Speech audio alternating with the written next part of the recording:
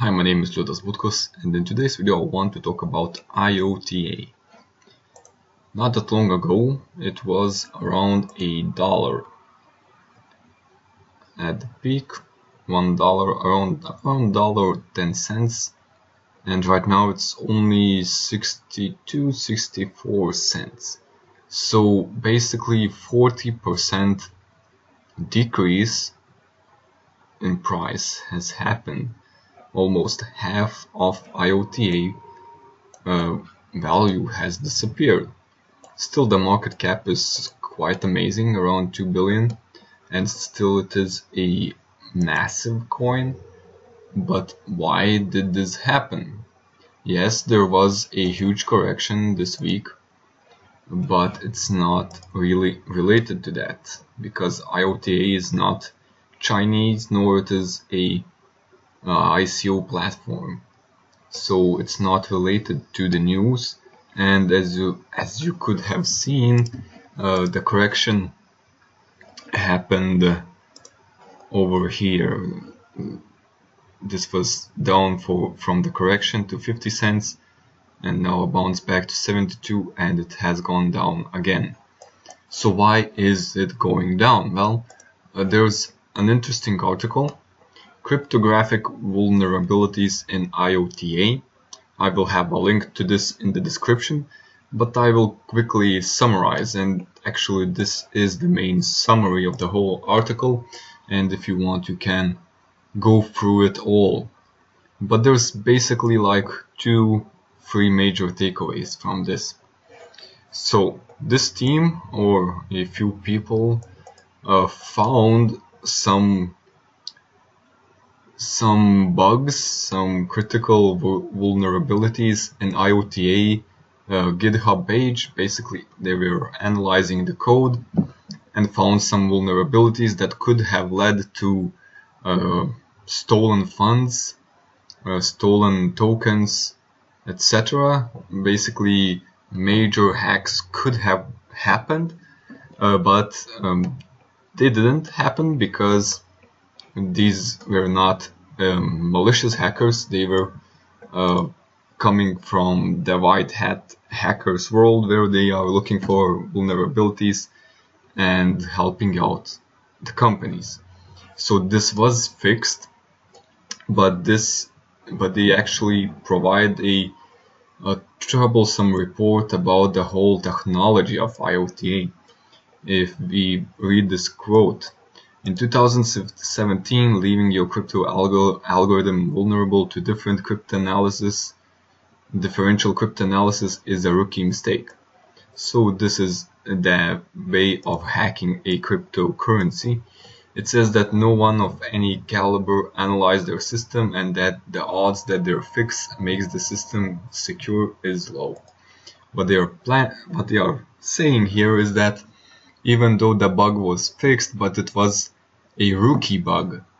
When you have a company that's valued $2 billion and you're making rookie programming mistakes that can lead to massive hacks and massive losses of funds, uh, that means you're not investing in security and that means that the, the technology might not be that great.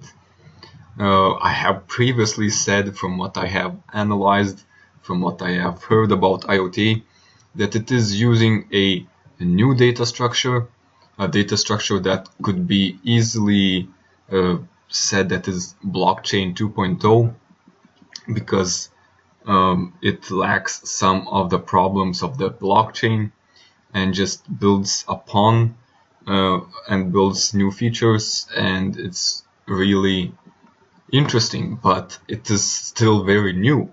Uh, the blockchain uh, basically started with Bitcoin in 2008, so um, that's um, nine years now.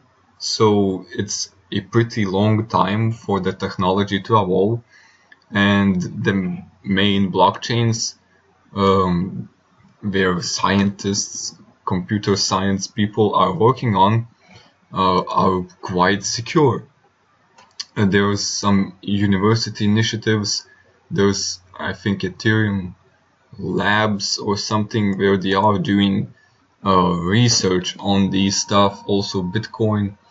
Uh, have heard a lot of good things about Monero. That also Zcash. That they are investing a lot of time and energy into making their products secure, trustworthy, and for them to do what they are doing. These cryptographic currencies require a lot of knowledge, a lot of um, investment, and a lot of research into developing them. And IOTA is a new model of blockchain. As I said, blockchain 2.0.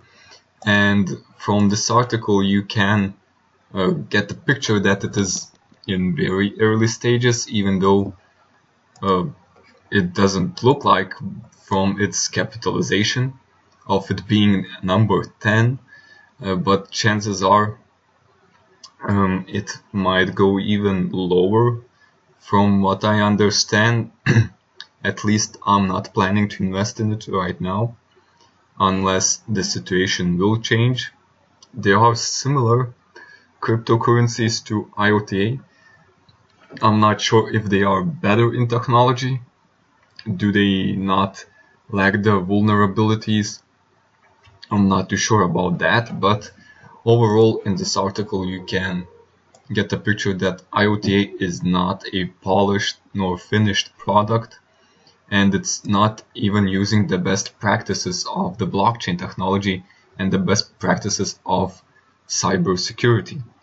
Um, they are using not binary code but trinary.